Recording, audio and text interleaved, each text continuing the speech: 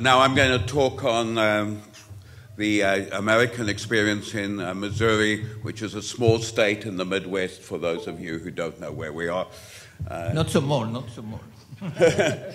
Uh, that's not mine.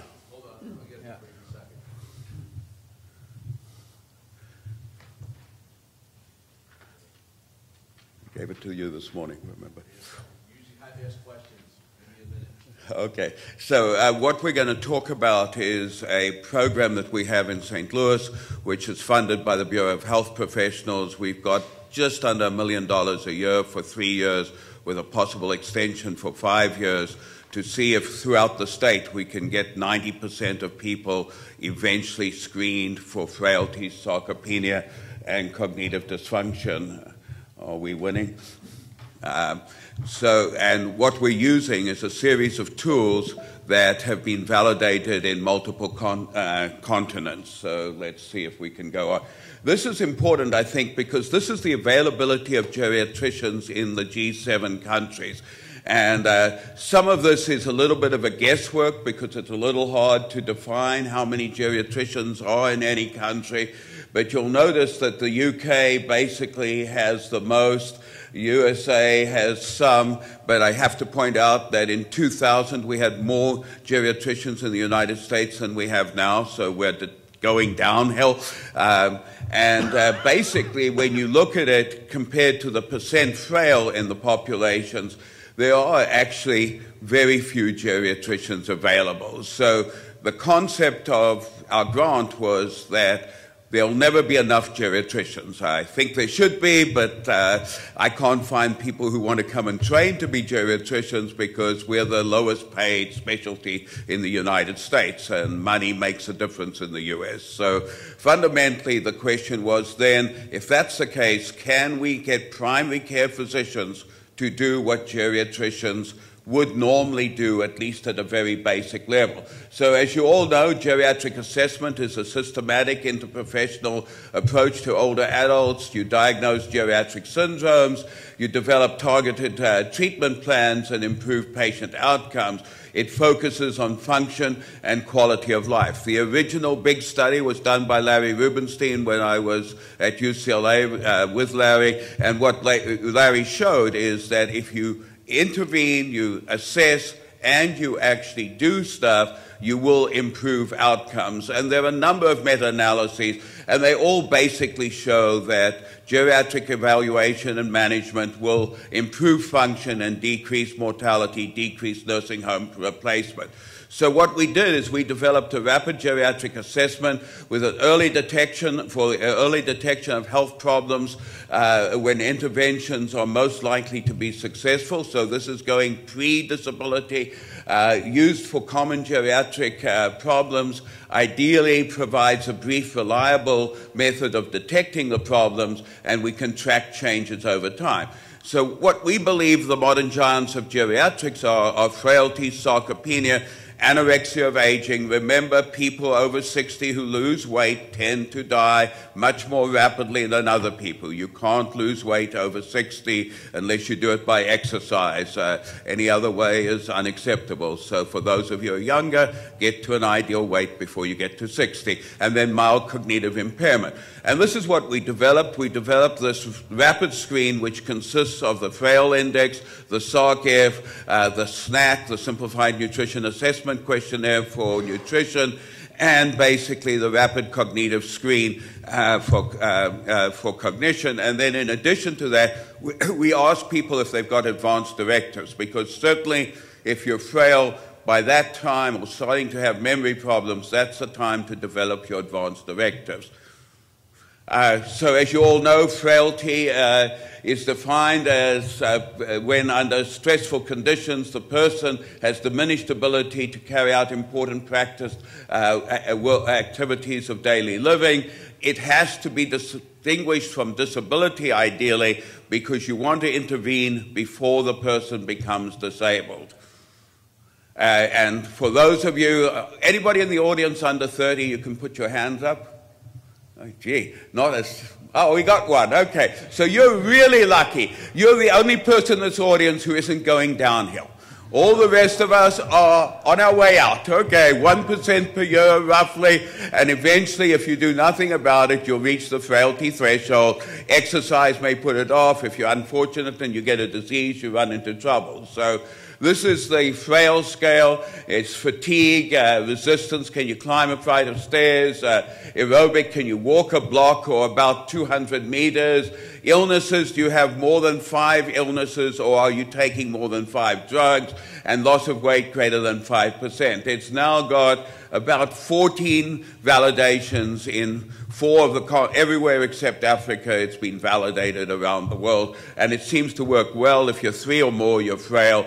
And uh, this is a study from Jean Woo in Hong Kong, where she simply showed that the frail question works as well as any of the more specific ways of doing it. So you can collect data about walking speed and all the rest, or you can just ask people and you get exactly as good outcomes whichever way you do it. Um, this is the SARC-F, which again is looking at basically strength, uh, uh, your assistance in getting up, uh, basically uh, the other functions. And it's important to recognize that, as I'll show you, people with sarcopenia are not always frail. Frail people are not also always sarcopenic. And this has been validated uh, within our inner city in St. Louis uh, also validated in the Baltimore longitudinal study with Luigi Ferrucci, and Jean Woo again did a large study where she showed that compared to all the sarcopenic definitions, and you know there's six or seven of them out there now, it works, and that included the Asian definition. It is better at predicting poor outcomes down the line. So simple questions work better than complex things. So we hear a lot in this meeting about how you've got to measure muscle mass and all this stuff. Don't. Okay, it takes time, and no physician's going to do it. Uh, so you might as well recognize that you can ask simple questions. The SNAQ again, very simple questions, and we've shown that it predicts basically uh, weight loss in the next six months with very good uh, sensitivity and specificity. And recently, a study came out of Japan showing exactly the same sort of thing. Finally, we have to recognize that families and physicians are more or less useless at recognizing when people can't think anymore. Uh, in general internal medicine in the United States, 90% of people who are demented are not recognized by their physician. Family practitioners do better. They only miss about uh, uh, 25%. But nevertheless, both groups do a terrible job picking up people with memory until they're so bad that you're certainly not going to be able to do anything. So we developed originally something called the St. Louis University Mental Status Exam, called the slums. I always get bad uh, vibes because it's called the slums. This is because my president of my university liked to build big, beautiful buildings and hated to pay faculty. So I always used to tell him he'd be more famous for slums than he would be for his buildings. Uh, he's not the president anymore, but that's how it is. And I should point out this has been translated now into 31 different languages. So it's available throughout the world uh, Bhutanese, uh, Nepalese, uh, virtually any language you want to find, we've got a copy of it available as for the rest of the RGA. And it works better than the MMSE, picking up mild cognitive impairment. A number of studies have now shown this is the case, and uh, it works as well as the MoCA. So it's no better than the Montreal Cognitive Assessment, but it takes six and a half minutes. The MoCA takes about 10 minutes. Uh, the problem with this is physicians don't have time to take six and a half minutes. For average family practitioner, that's the full visit. So they would have nothing else to do and no time to talk to the person. So we looked at could we decrease this, and we found out that if we use five words, the clock drawing, then ask the five words, and then this nonsense paragraph, and in it you put a city, and the question at the end is which state, which province, or which country does the person live in, and those tend to be just as good and basically for dementia as the slums, for mild cognitive impairment, much better. And it's for MCI, the mini cog doesn't pick up MCI. This takes roughly two and a half minutes to do once you get used to doing it. So fundamentally, you can do the whole of our screens in about three and a half minutes. And we train people actually to do the screening uh, in the doctor's office. So we're using secretaries. Anybody can be trained to do it. So the physician doesn't have to do it. Uh, and I just put this up to point out that there are tons of things you can do about early cognitive dysfunction. We have tremendous fights with neurologists who say, don't screen, don't look because there's nothing you can do. I'll just point out to you that you can get rid of drugs, treat depression, hypothyroidism, sleep apnea, atrial fibrillation, hearing and visual problems, B12 deficiency, and there are a ton of lifestyle things that really slow this down. The finger study showed this nicely.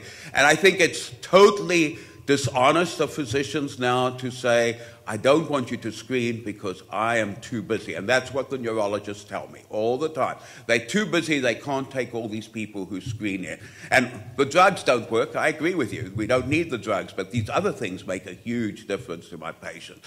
So Jean Woo in Hong Kong actually did this combination and then did a full geriatric assessment on about half of the people and showed that the short questionnaires produce exactly the same outcomes as if you go and do the full geriatric assessment. What I'm trying to tell you is geriatricians are unnecessary. Okay, that's another way of looking at it. I don't believe that. I'm a geriatrician. I love being a geriatrician. But if we don't have us, we've got to find a quicker way to do it. And when Jean looked at it, there was overlap between the different things, but it was not complete in any way.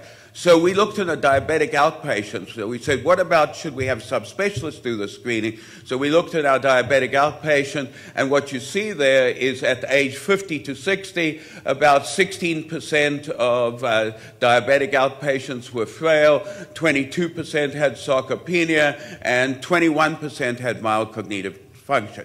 The reason I like to show this is diabetics who can't think can't look after their diabetes. They prick their finger, they do these things, it's not going to work, and so fundamentally they have to be able to think. My endocrine faculty tell me all the time that their patients are terrible because they won't do the things they tell them. We did this to prove to them, and it turns out that all the people with lousy hemoglobin A1Cs are the ones who can't think, who the endocrine faculty don't realize it's no use telling somebody and sending them home. They're not going to remember. Okay, you've got to put in systems that will make a difference. So, this is the outcomes. Sarcopenia turns out over a six month period using the SARC-F to be overwhelmingly the only thing that decides whether or not a diabetic will finish up in hospital or will actually have new disability. Uh, and also mortality. The mortality was virtually all associated with SARC-F, and this was totally independent of hemoglobin A1C. So why should you screen? I think this is a pretty good reason why we should be screening. Um, We've also been looking basically in the community, and here you can see that when we look in the community, and this is the total data put together, frailty is very common, sarcopenia is very common, and basically uh, anorexia is common, and not thinking well is common in people over the age of 65.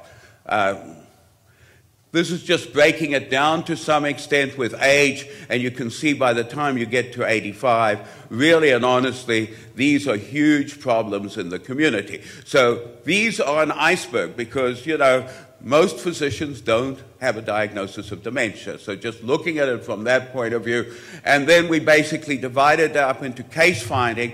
We have physicians doing this, and they actually do fairly well. And when we have basically case finding where we send medical students and social work students out into the community to case find. Um, when you put this together, the important thing that you notice here is that while there's overlap, there's a lot of non overlap. So you have to do all of these separately, and cognition tends to be very separated from the physical thing on a whole. We have available information sheets that can be given to the older persons who screen positive for these things. This is an example of a frailty one.